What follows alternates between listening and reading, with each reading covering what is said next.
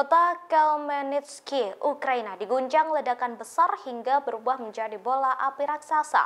Sebanyak 21 drone diterjunkan oleh Rusia untuk menyerang kota tersebut ketika serangan balasan Kiev mendekat. Presiden Rusia Vladimir Putin diduga menargetkan gudang amunisi di Ukraina Barat. Sementara itu, administrasi negara bagian Melnitsky mengatakan hanya ada dua korban yang dirawat di rumah sakit, sedangkan sebanyak hampir 30 orang disebutkan mengalami luka-luka. Pada 12 Mei 2023, Rusia menyerang Ukraina menggunakan drone Shahid. Sirene peringatan serangan langsung berbunyi sekira pukul 3.05 waktu setempat. Tak lama kemudian terdengar ledakan keras pasca empat drone menghantam fasilitas militer.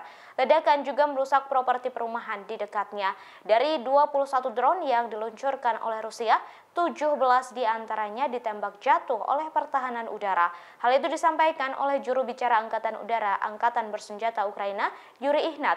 Ia menambahkan drone Rusia tersebut diluncurkan dari berbagai arah.